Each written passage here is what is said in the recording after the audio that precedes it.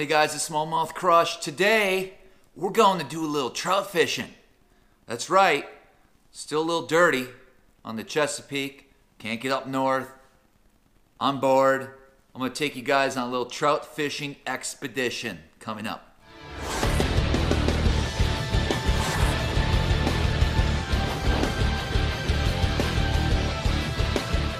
All right, so this trout expedition that we're going on, just outside of Philadelphia, loaded, loaded with big trout, right?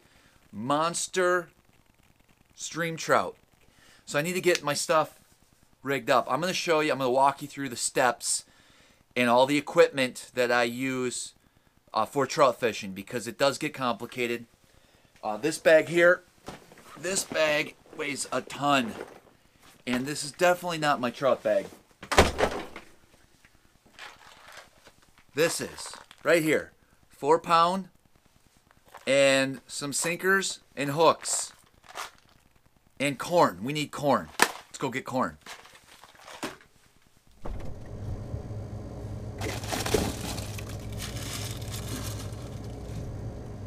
All right, corn really for trout? Just you wait and see. I didn't believe it until I moved out here a few years ago. Back where I come from, we have like native fish that live in the streams and they're very hard to catch and you have to throw you know, I don't know, I'm not a trout fisherman, okay?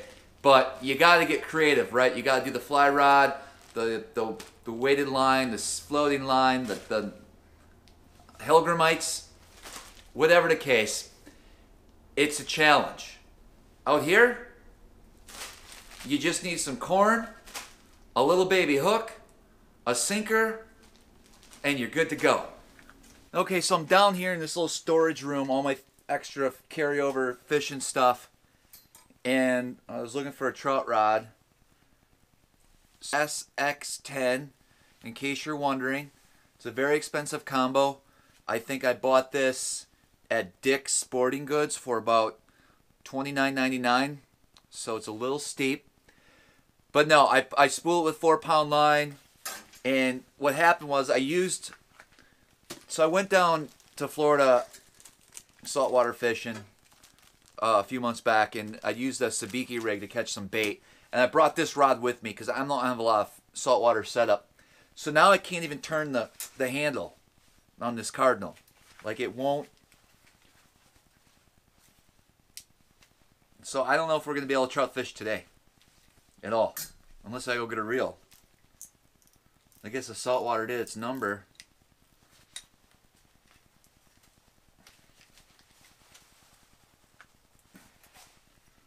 I mean, the drag works, so the spool works fine. Let me take this off real quick and see. I, I have another, I have another reel. I just don't want to find it. Yeah, this saltwater really, I just can't turn it, you know?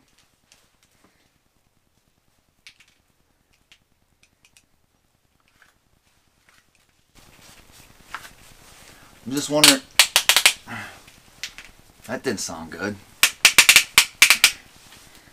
I just thought maybe if I could put some torque on it,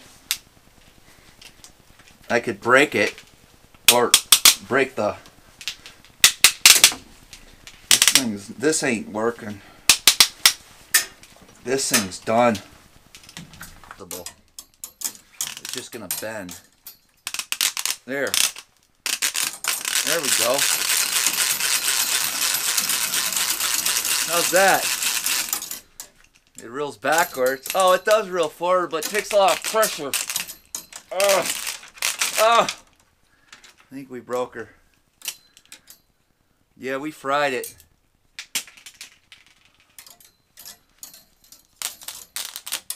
There ain't much to it. Alright, I guess we'll get a new reel. Buddy. Okay, I found another uh, reel. This this one here is the uh, what the heck? Take a look at this thing. It's a TX 500F. Shimano. There we go. 500. I think this was made back in 87. But we're going to roll with it because I don't have time. My trout selection equipment is not as great as my bass equipment. I wonder how old this line is, though. Six. So here's the deal with these trout. They stock them, right? They're all just stock trout because in this area, pretty much anything gets fished out immediately. Uh, most people keep them, and they don't. I mean, they just have to stop Stock. I think they do it twice a, a year. I mean, it's fun. It's something. It really something cool. Like, guess if you had children or introducing someone into fishing. You know, I do it. I just like to be outside. You know, and just fish. So they're they're they're stocked. So they're stupid. They'll pretty much bite anything, and the bite's good until they all get caught. I mean, I, I'm sure some survive here and there, but I'm actually going to switch this out to some different line.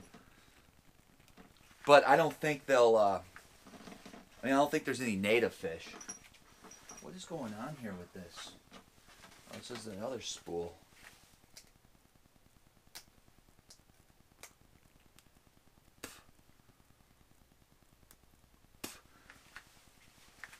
So here's the crazy th- stuff. So they actually have a website that shows you when these trout are getting dumped into these streams. So and the exact time. So at 12:30 on August 1st. Really? Guess they didn't tie that on too well.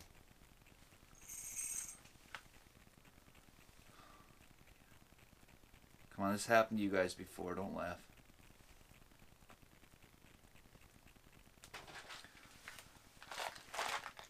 This is actually, I do do some uh, salmon and uh, trout fishing on Lake Michigan or Lake Ontario. Yeah, all the Great Lakes. Right now, mostly Lake Ontario. And uh, so, I mean, I'm I know what's up when it comes to monster steelhead. But these little streams of stock trout in PA that's another challenge.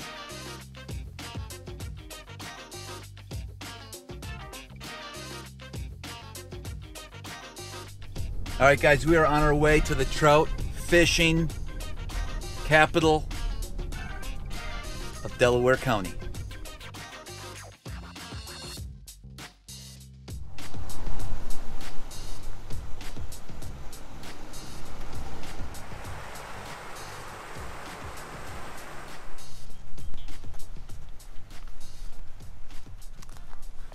All right, we're gonna get ourselves a trout. A big Pennsylvania trout. All right, we just got to the hole. It ain't much to this place. It's just a little river, little stream here.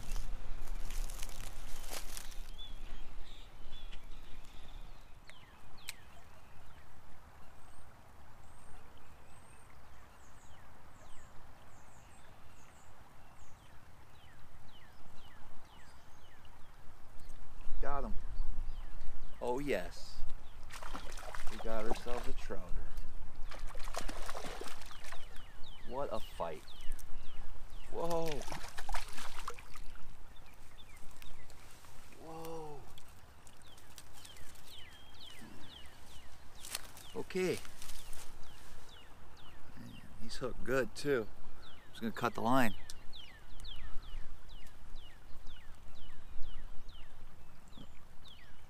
I'm not kissing him. There you go. If I hold him up, he looks bigger.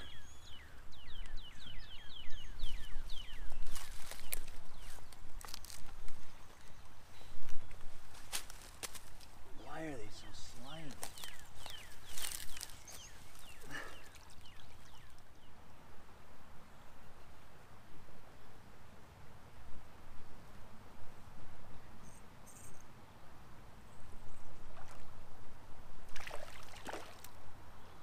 It's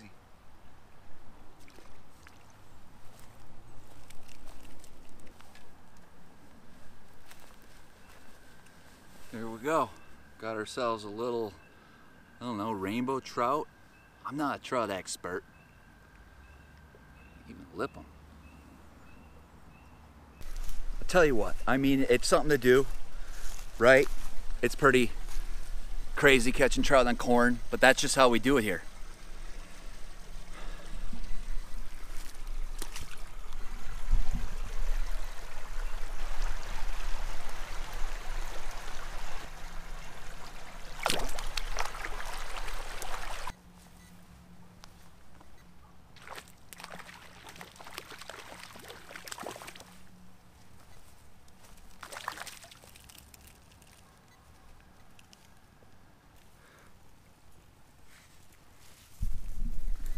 We are trout catching fools today.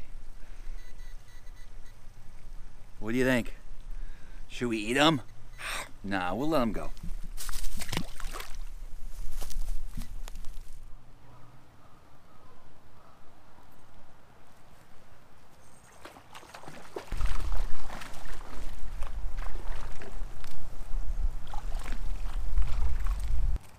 Trout City here.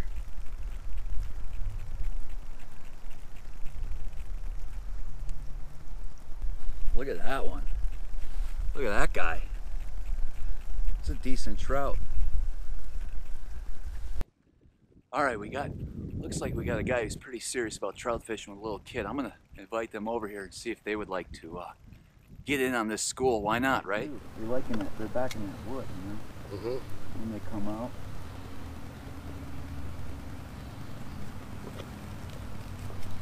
They're smart though, they know. Well, they can see. They're very Yeah. sensitive fish. Right. All right, Uh-oh. Come here. Annabelle, come here. Hold the rod in this hand. We're a reel. Yeah, it's spin. Come on. Is this your Reel, reel, reel, reel. Oh, he got off. He came back.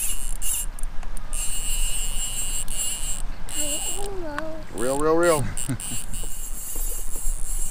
Wow. It opens up. Look at Sam. Annabelle. We got him. We just have to.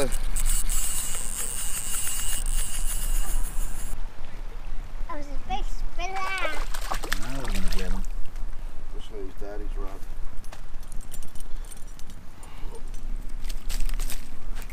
There we go. Annabella. Look. We're gonna use Daddy's rod. It's your first fish. Put it down. Oh. Hold it. No, hold right here where Daddy's holding. Look, look at the phone. Hey, Travis, thanks a lot, buddy. You say thank you, Travis. Thank you, Tiana. No problem. Sorry your video didn't go too good because of the... All right, guys, so I'll show you the setup here. Real, real basic stuff, you know? Just tying that real small hook. And then a really small split shot. Super small. Go about a foot, foot or so, and that's pretty much it. And you'll be on trout all day long with this setup. All right, guys, I'm also offering guided trips for these trout. I guarantee a limit of eight inchers. All right, guys, so we caught a few trout today on the corn. It's a good technique. If you're ever in this area, go down to the local groceries, pick up a bag of corn, and go to town. Hey guys, don't forget to subscribe to my channel. I got a great contest going on right now. Uh, you can win that free Mercury jersey. All you have to do is uh, go on my channel, become a subscriber, and then comment on any video and give me a like on any video, and you could be the next winner. We're going to be a drawing in about two weeks, so stay tuned for that.